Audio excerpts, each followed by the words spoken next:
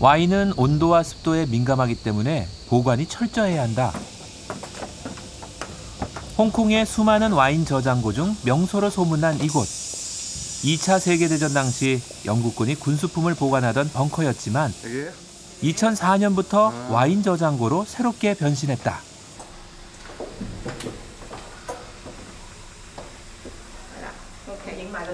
지하의 자연스러운 냉장 기능 덕분에 최상의 와인 저장고가 될 수 있었단다. 내부에는 전 세계 회원들이 맡긴 약 200만 상자의 와인이 최적의 환경에서 보관되고 있다.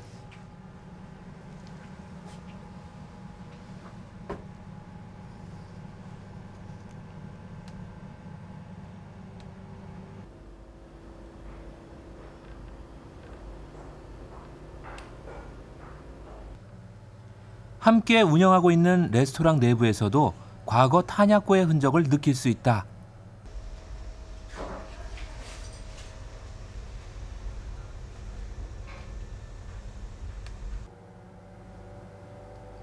점원이 보여준 한 장의 사진은 이곳이 과거 공군기지의 벙커이자 탄약고였음을 증명한다.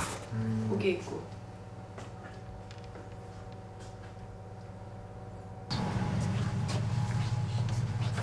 이곳에서 가장 비싼 와인은 뭘까?